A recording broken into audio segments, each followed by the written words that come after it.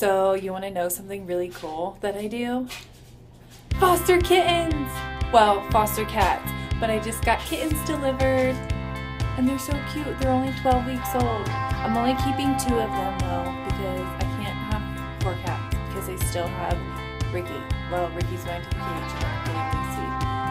But so we are we have four right now,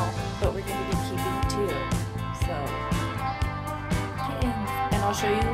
Hopefully, I can show you the progression of them getting older and getting bigger because right now they're like really sick they have massive eye problems. So we're gonna try to heal them. But right now they're really